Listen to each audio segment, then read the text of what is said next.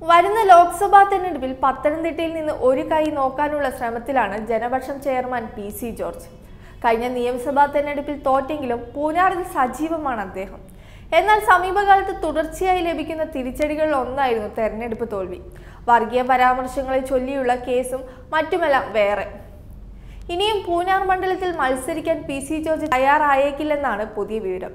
അദ്ദേഹം പത്തനംതിട്ട ലോക്സഭാ മണ്ഡലത്തിൽ മത്സരിക്കാൻ നീക്കം നടത്തുന്നുണ്ട്. ബി ജെ പിയുമായി ഇക്കാര്യം ചർച്ച ചെയ്തു കഴിഞ്ഞു. ബി ജെ പിയുമായി വളരെ അടുത്താണ് പി സി ജോർജ് കഴിഞ്ഞ കുറച്ചു കാലങ്ങളായി പ്രവർത്തിക്കുന്നത്. പി സി ജോർജിന്റെ വർഗീയ പരാമർശത്തെ തുടർന്ന് എറണാകുളത്ത് അറസ്റ്റിലായ വേളയിൽ പോലീസ് സ്റ്റേഷനിൽ ബി ജെ പിയുടെ മുതിർന്ന നേതാക്കൾ വരെ എത്തിയിരുന്നു.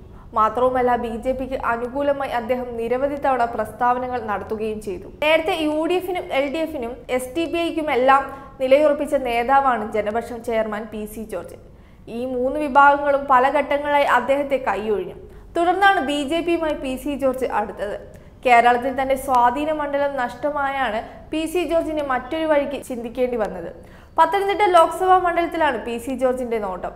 പൂഞ്ഞാറും ശബരിമലയുമെല്ലാം ഉൾപ്പെടുന്ന ഈ മണ്ഡലത്തിൽ നിന്ന് ബി ജെ പിയുടെ പിന്തുണയുണ്ടെങ്കിൽ ജയിക്കാമെന്ന് പി സി ജോർജ് കരുതുന്നുണ്ട്. തുടർന്നാണ് വിഷയത്തിൽ ചർച്ചകൾ നടക്കുന്നത്. കത്തോലിക്ക സഭയുടെ പിന്തുണ ഉറപ്പിക്കാൻ പി സി ജോർജിന് വഴി എളുപ്പമാകും. തിരുവല്ല റാന്നി കോന്നി ആറന്മുള അടൂർ എന്നീ നിയമസഭാ മണ്ഡലങ്ങൾക്ക് പുറമെ പൂഞ്ഞാർ കാഞ്ഞിരപ്പള്ളി മണ്ഡലങ്ങൾ കൂടി ഉൾപ്പെടുന്നതാണ് പത്തനംതിട്ട ലോക്സഭാ മണ്ഡലം.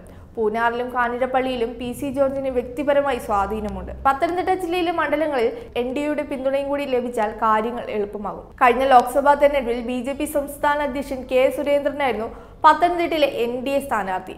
ആന്റോ ആന്റണിയാണ് ഇവിടെ ജയിച്ചതെങ്കിലും സുരേന്ദ്രന്റെ സാന്നിധ്യം ശക്തമായ ത്രികോണ മത്സരത്തിന് ഇടയാക്കുകയായിരുന്നു. വീണ ജോർജിനെ പിന്നിലായി ഇരുപത്തൊമ്പത് ശതമാനത്തോളം വോട്ട് സുരേന്ദ്രന് അന്ന് ലഭിക്കുകയും ചെയ്തു. ക്രൈസ്തവ വോട്ടുകൾ ഉറപ്പിക്കാൻ സാധിച്ചാൽ പി സി ജോർജിന്റെ നീക്കം ഫലം കാണും.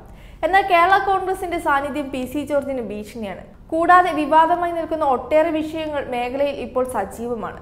ബഫർ സോണും ശബരിമലയും കേരളയിലുമെല്ലാം ചർച്ചയായി എടുക്കാനാണ് പി സി ജോർജിന്റെ നീക്കം.